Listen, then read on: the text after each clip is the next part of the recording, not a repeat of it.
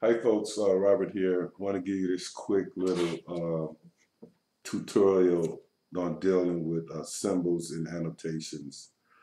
So what you'll see here, you'll see uh, we have 14 millimeter diameter typical. Uh, now Revit has doesn't Revit doesn't have characters in its annotation, so I'm going to activate this view and I'll tick it. And um, you can't, so if I want to say an at symbol, you can do that. But a uh, diameter symbol, um, I think that would be shift six. No. So in AutoCAD, you can bring some of these over. But what uh, Autodesk does, it uses Microsoft's uh, character symbols. So how to, how to activate that is, I'm going to just drag this out a bit. So you want to go and uh, go into your Microsoft search and this kin character. There it is, character map right here. And then um, should open up soon.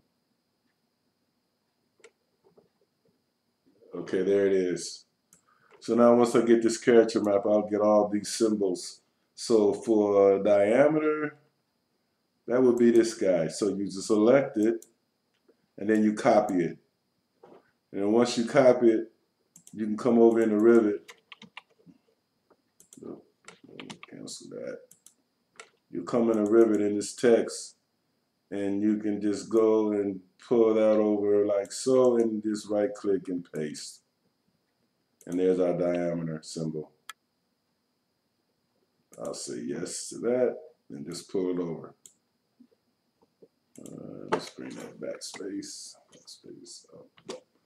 So that's how you place characters in your um, text. So you can do other characters, so percent signs, whatever you can't get into uh, Revit. So let me try something else. Let's try another one here. So you go back to your character map should be out here somewhere. Here it is.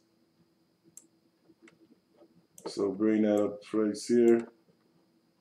Or I could just tab to it. There you go. And so these are all the symbols available. So uh, again, uh, let's do another one here. Let's go with, uh, shoot.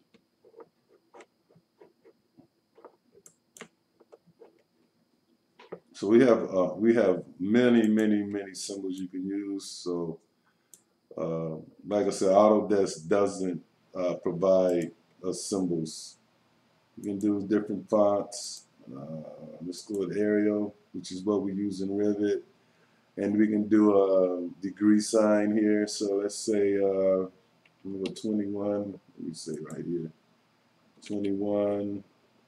Bring my character map back here and I'll take the little degree sign. I'll select it. Oh, I want to backface that. I want to select the degree sign copy it. Go back into my uh, text annotations text and go right click and paste. So that's how you use the character map. So you don't really have to type in diameter or whatever you can get all of these symbols right out of the character map in Autodesk. So I want to make sure this quick video I had to show some people how this works.